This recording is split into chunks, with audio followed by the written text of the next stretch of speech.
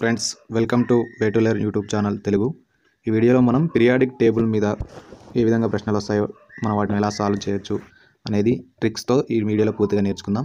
వీడియోని ఎక్కడ స్కిప్ చేయకుండా అయితే చూడండి. చాలా ఈజీగా ఉంటుంది చాలా ఈజీగా అర్థమవుతుంది. అలాగే కెమిస్ట్రీలో మోస్ట్ మోస్ట్ ఇంపార్టెంట్ చాప్టర్ అనేది పీరియాడిక్ టేబుల్ ఎందుకంటే ఇందులోంచి ఖచ్చితంగా ప్రశ్నలు అనేది వన్ ఆర్ టూ అనేవి రావడం అయితే జరుగుతుంది కాబట్టి చాలా కేర్ఫుల్గా వింటే మీకు ఈజీగా అర్థమవుతుంది.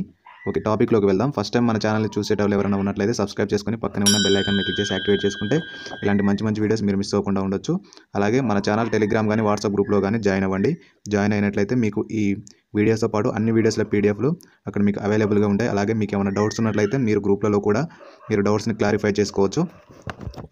యూస్ఫుల్గా ఉంటుంది. టాపిక్లోకి వెళ్దాం. ఇక్కడ మనకు కనపడుతున్నది అయితే పిరియాడిక్ టేబుల్ చాలా మందికి టేబుల్ అని వినుంటారు కానీ కొంతమంది అయితే చూసి ఉండరు కాబట్టి వాళ్ళకైతే ఇక్కడ చూపించడం జరుగుతుంది. ఈ విధంగా అయితే పిరియాడిక్ టేబుల్ ఉంటుంది.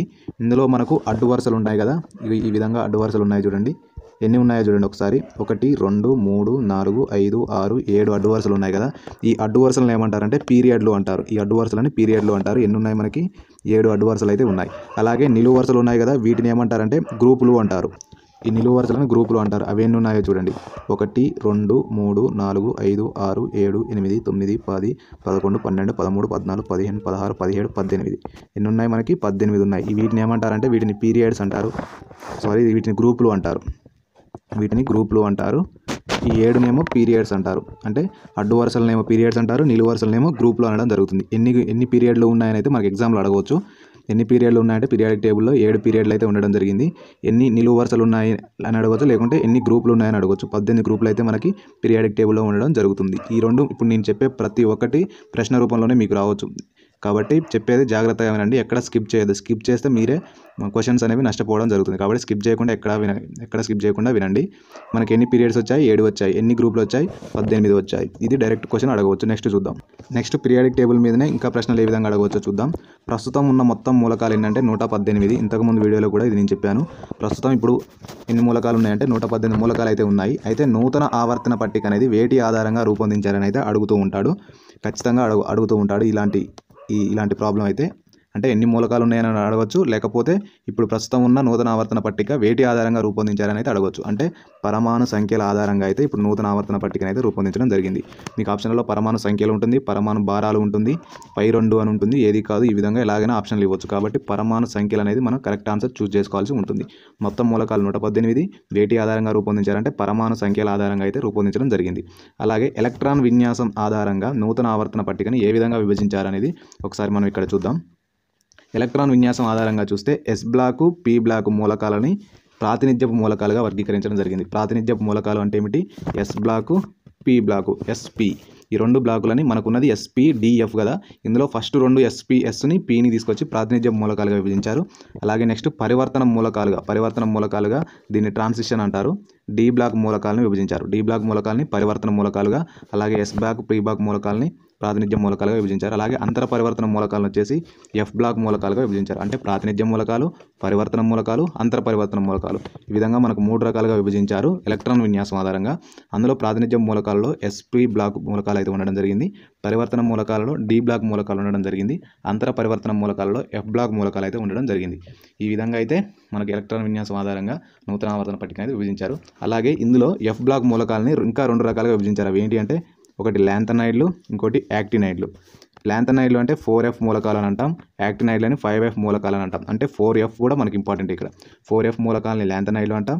ఫైవ్ ఎఫ్ మూలకాలని యాక్టినైడ్లు అంటాం. దీంట్లో పదిహేను మూలకాలు ఉంటాయి దీంట్లో కూడా పదిహేను మూలకాలు ఉంటాయి.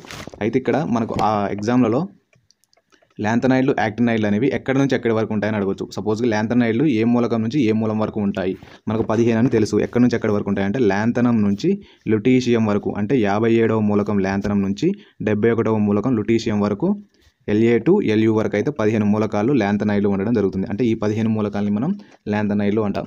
మరి యాక్టినైల్ వచ్చేసి ఆక్టీనియం ఆక్టేనియం ఎనభై తొమ్మిది నుంచి లార్సినియం నూట మూడు వరకు ఏసీ టు ఎల్ఆర్ ఈ పదిహేను మూలకాలని మనం యాక్టినైడ్లు అనడం జరుగుతుంది. ఇవి కూడా ఇంపార్టెంట్ యాభై ఏడు నుంచి డెబ్బై ఒకటి వరకు ల్యాంథనైడ్లు అంటాం యాక్టినైడ్లు అంటే ఎనభై తొమ్మిది నుంచి నూట మూడు వరకు అయితే మనం యాక్టినైడ్లు అంటాం ఇది చాలా చాలా ఇంపార్టెంట్ ల్యాంథనైడ్లు అని ఎక్కడి నుంచి ఎక్కడి వరకు అంటారు? యాక్టినైల్ అనేది ఎక్కడి నుంచి ఎక్కడి వరకు అంటారు అనేది మనకు ఎగ్జామ్లు ఎక్కువగా అడుగుతుంటాడు.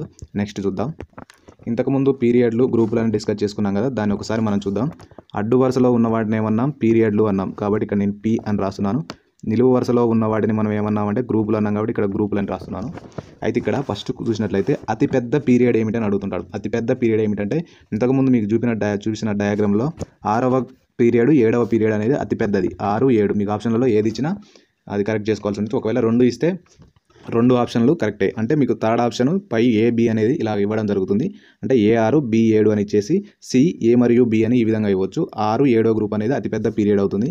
అందులో ముప్పై రెండు మూలకాలు అయితే ఉంటాయి. ఆరు ఏడో పీరియడ్లలో ముప్పై రెండు మూలకాలు ఉంటాయి. అతిపెద్దవి ఇదే అవుతుంది. అలాగే మొత్తం పీరియడ్లు ఎన్ని ఉంటాయంటే ఏడు ఉంటాయి. ఆల్రెడీ ఇంతకుముందు డిస్కస్ చేసాం గ్రూప్ మూలకాలలో ఎన్ని పీరియడ్లు ఉంటాయంటే ఆవర్తన పట్టికలో ఏడైతే ఉంటాయని ఇంతకుముందు డిస్కస్ చేసాం అలాగే మొత్తం గ్రూపులు పద్దెనిమిది. ఇంతకుముందు చెప్పుకున్నాం నిలువు ఎన్ని ఉన్నాయంటే పద్దెనిమిది ఉన్నాయి కాబట్టి వాటి గ్రూపులని ఇంతకుముందు పద్దెనిమిది అని మనం డిస్కస్ చేసాం అతి చిన్న పీరియడ్ ఏమిటి? అతిపెద్ద పీరియడ్ ఆరు ఏడు అన్నాం కదా అతి చిన్న పీరియడ్ ఒకటవది. ఒకటవది రెండే మూలకాలు ఉంటాయి అందులో. ఒకసారి చూద్దాం వెనక్కి వెళ్ళి. ఇక్కడ మీకు ఇంతకుముందు చూపించిన డయాగ్రామ్ కనిపిస్తున్నది కదా. ఇక్కడ అతిపెద్ద పీరియడ్ ఆరు ఏడు అన్నాం కదా. ఆరు ఏడు. ఇది ఆరవది. ఇది ఏడవది. ఇందులో మొత్తం ముప్పై రెండు మూలకాలు ఉంటాయి అంటే ఆరులో ముప్పై రెండు ఉంటాయి ఏడులో కూడా ముప్పై రెండు మూలకాలు అనేవి ఉండడం జరుగుతుంది. మీకు ఇక్కడ ముప్పై రెండు కనపడలేదని అనుకోవద్దు.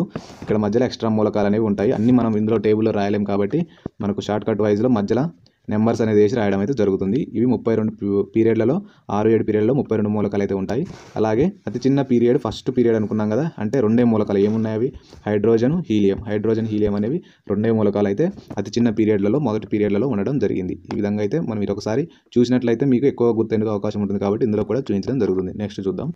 నెక్స్ట్ మోస్ట్ మోస్ట్ ఇంపార్టెంట్ వచ్చేసి ఇందులో గ్రూప్లలో పైనుండి క్రిందకి పోయే కొలది అంటే గ్రూప్లలో పైనుంచి కిందికి వస్తున్నాం. కిందికి వస్తున్నప్పుడు పరమాణు పరిమాణం ఏమవుతుంది? ధర విద్యుదాత్మకత ఏమవుతుంది? లోహ స్వభావం ఏమో ఏమవుతుంది?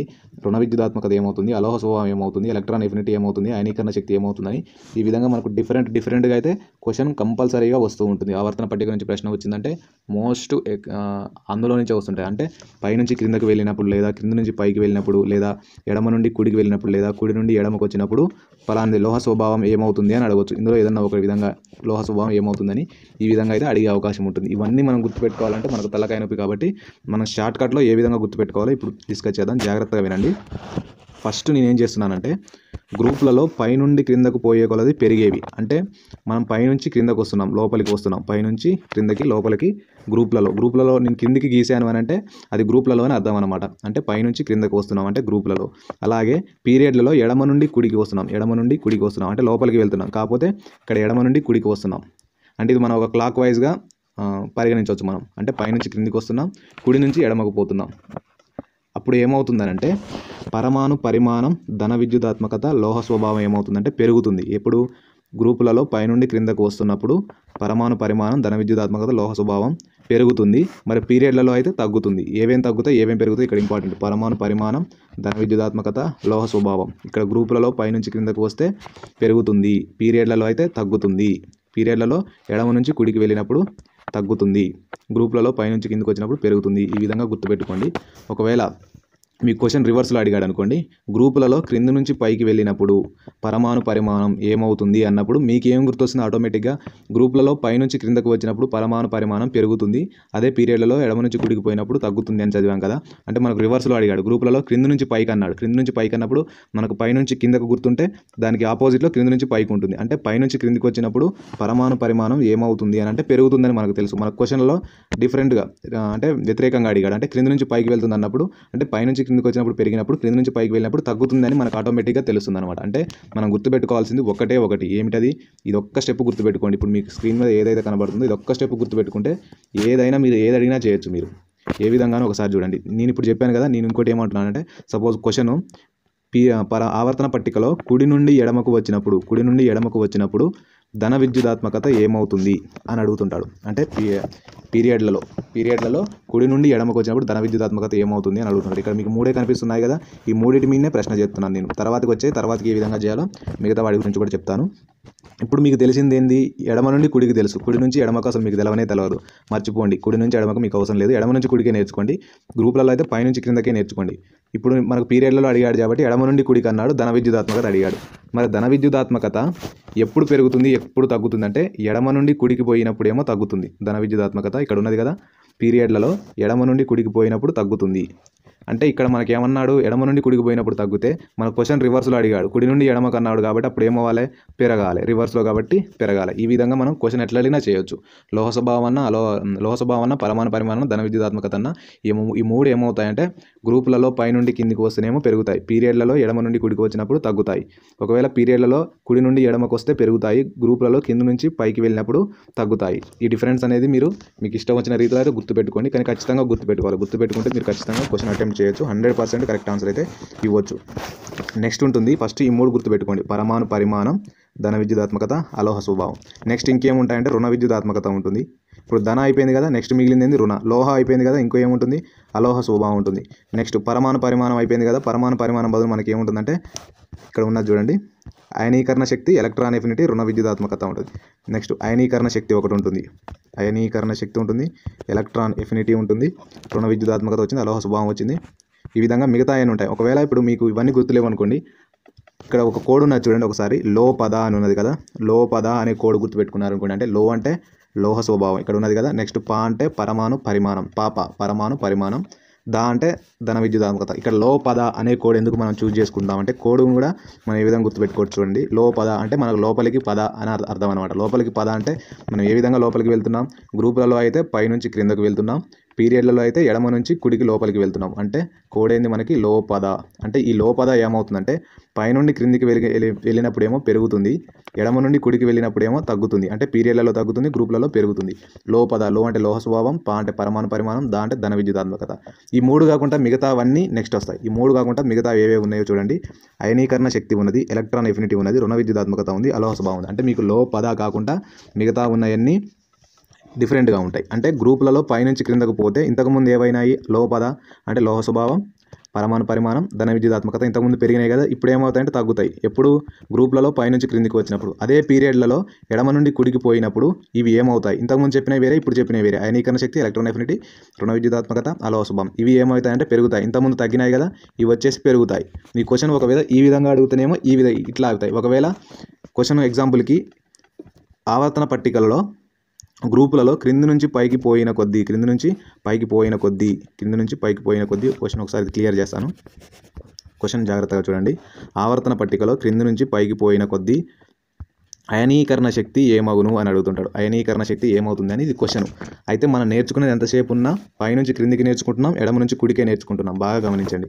పైనుంచి క్రిందికే నేర్చుకుంటున్నాం ఎడమ నుంచి కుడికే నేర్చుకుంటున్నాం. కానీ ఇక్కడ క్రింది నుంచి పైకి అన్నాడు. సరే క్రింది నుంచి పైకి మనకు తెలియదు మర్చిపోదాం. మనకు పైనుంచి క్రిందికి తెలుసు కదా మనకు పైనుంచి క్రిందికి పెరుగుతుందా తగ్గుతుందా అని తెలుసు. దానికి ఆపోజిట్లో క్రింది నుంచి పైకి అయితే ఉంటుంది. మనకు పైనుంచి క్రిందికి తెలుసు. పైనుంచి క్రిందికి వెళ్ళినప్పుడు గ్రూపులలో ఏమడిగాడు మనకి? అయనీకరణ శక్తి అడిగాడు. అయనీకరణ శక్తి పెరుగుతుందా తగ్గుతుందా? అంటే గ్రూప్లలో పైనుంచి కింది కిందికి వచ్చినప్పుడు లోపద మాత్రమే పెరుగుతుంది. లోపద మాత్రమే పెరుగుతుంది. మిగతాయి తగ్గుతాయి. ఇది లోపద మనం ఇంతకుముందు నేర్చుకున్నాం. ఇప్పుడు తగ్గేవి ఏమిటంటే ఇక్కడ మనకు కనిపిస్తున్నది అయనీకరణ శక్తి ఎలక్ట్రాన్ ఎఫినిటీ రుణ విద్యుత్మక అలవ స్వభావం ఇందులో మనకు అడిగిన క్వశ్చన్ అయనీకరణ శక్తి. అయనీకరణ శక్తి ఏమవుతుంది? తగ్గుతుంది. ఎప్పుడు ఇది పైనుంచి క్రిందికి వచ్చినప్పుడు తగ్గుతుంది. మరి కింద నుంచి పైకి వెళ్ళినప్పుడు పెరుగుతుంది. మనకు డైరెక్ట్ ఆన్సర్ మనం చూస్ చేసుకోవచ్చు. ఒకదానికి ఒకటి లింకప్ చేసుకొని మనం ఆన్సర్ చేసేందుకు వీలుగా ఉంటుంది. ఒకవేళ గ్రూప్లలో అయితేనేమో ఇక్కడ తగ్గుతుంది. ఇక్కడ మీకున్న చూడండి తగ్గుతుంది. ఏది? గ్రూప్లలో అయితే. ఎడమ నుంచి కుడికి పోయే కొద్దీ పీరియడ్లో అయితే పెరుగుతుంది. పీరియడ్లో అయితే పెరుగుతుంది. గ్రూప్లలో అయితే తగ్గుతుంది. ఇంతకుముందు ఉన్నదానికి ఆపోజిట్లో ఉంటాయి అనమాట ఇంతకుముందు అలోహాలు ఏమైనా అంటే లో పదాలు లో పద లో పదాన్ని మనం కూడబెట్టుకున్నాం కదా లోహ స్వభావం పరమాణు పరిమాణం ధన విద్యుదాత్మకత ఏమైనా అంటే పైనుంచి క్రిందికి వచ్చినప్పుడు ఇంతకుముందు ఏమో పెరిగినాయి. ఎడమ నుండి కుడికి పోయినప్పుడు ఏమో తగ్గినాయి. కానీ అవి కాకుండా మిగతా ఏవైతే ఉన్నాయో వాటికి రివర్స్లో ఉంటాయి. అంటే పెరుగును తగ్గును ఈ విధంగా ఉంటాయి.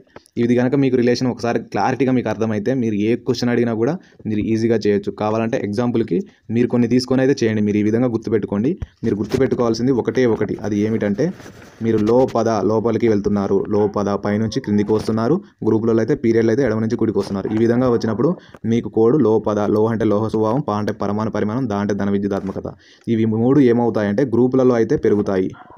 గ్రూపులలో అయితే పెరుగుతాయి. పీరియడ్లలో ఎడమ నుంచి కుడికి వస్తే తగ్గుతాయి. మీరు ఇది గుర్తుపెట్టుకున్నారు అనుకోండి మీ క్వశ్చన్ రివర్స్లో అడిగినప్పుడు కూడా మీరు ఆన్సర్ రివర్స్లో చేయవచ్చు. ఇంతవరకు మీకు క్లారిటీ వస్తే మీకు ఇప్పుడు సెకండ్ సెకండ్ టైం చెప్పింది ఏమిటి మీకు? మిగతా అవి. అయనీకరణ శక్తి ఎలక్ట్రానిఫిటీ అలోహ స్వభావం. ఒకసారి ఆ ఏ రూ ఆ అని మామూలుగా షార్ట్కట్లు అయితే రాస్తున్నాను. ఇవి ఏమవుతున్నాయనంటే గ్రూపులలో గ్రూపులలో పైనుంచి క్రిందికి వచ్చినప్పుడు మనం నేర్చుకునే ఎంతసేపు ఉన్నా పైనుంచి క్రిందికి ఎడమ నుంచి కుడికే నేర్చుకుంటున్నాం. పైనుంచి క్రిందికి వచ్చినప్పుడు ఇవి ఏమవుతాయంటే ఇక్కడ పెరిగినాయి కదా ఇక్కడ ఏమవుతాయి ఇవి? ఇవి తగ్గుతాయి. ఇవేమవుతుంది? ఇక్కడ తగ్గాయి కదా ఇక్కడ పెరుగుతాయి. ఒకవేళ క్వశ్చన్ రివర్స్లో అడిగితే ఇవి పెరిగేవి తగ్గుతాయి తగ్గేవి పెరుగుతాయి. ఈ విధంగా అయితే మీకు కన్ఫ్యూజన్ అనిపించినా కూడా ఒకటికి రెండు సార్లు అయినా చూసైనా సరే మీరు నేర్చుకుని ట్రై చేయండి. మీకు ఈజీగా అర్థమవుతుంది. ఈ ఈ రిలేషన్ కనుక మీకు అర్థమైతే మీకు ప్రశ్న ఏ విధంగా అడిగినా కూడా చేయవచ్చు. ఒకవేళ అర్థం కాకుంటే మళ్ళీ అయినా వెళ్ళి వెనక్కి వెళ్ళి అయినా మళ్ళీ స్కిప్ చేస్తూ వెనక్కి వెళ్ళి చూడండి. మీకు క్లారిటీగా అర్థమవుతుంది అనుకుంటాను. నెక్స్ట్ ఇంపార్టెంట్ వచ్చేసి ఇందులో గ్రూప్ మూలకాలు అనేవి ఉంటాయి. అంటే మీకు ఏ గ్రూప్లో ఏ మూలకం ఉంటుంది?